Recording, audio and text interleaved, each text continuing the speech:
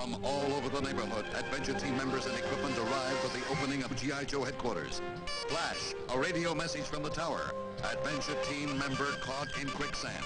Get the maps. Here's the location. Get going, Joe, and good luck. Back in the tower, Joe signals, help on the way.